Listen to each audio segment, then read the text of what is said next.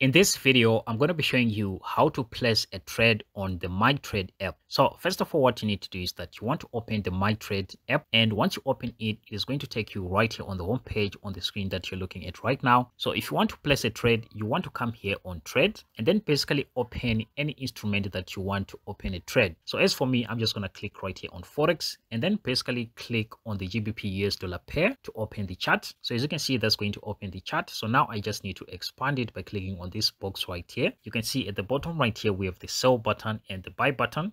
So if you want to buy you click on the buy button. If you want to sell you click on the sell button right here so I just want to sell the market. So I just need to click on the sell button right here, which is the red button. And this is going to open this section that you're looking at. So right here, this is where you can set your lot size. So if you want to set your lot size, you just need to click right here and then basically type your lot size. So as for me, I just want a lot size of 0.10. And then once you're done, you just need to go ahead and click right here on the red button on sell. And basically that's going to sell the market on the GBP US dollar pair. So now to see our running trade, what we need to do is that we want to come back right here by clicking on this arrow here at the top and then come back once again. And this is going to take us right here on this page. Once you come here you just need to click on position which is on the bottom right here. And this is going to take you on this page where you can see all your running trades. So to see your running trades you just need to click right here on open. And this is where you're going to find your running trade. And as you can see this is our gbp trade and it's actually running